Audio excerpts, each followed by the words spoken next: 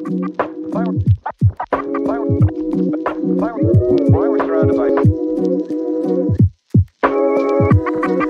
we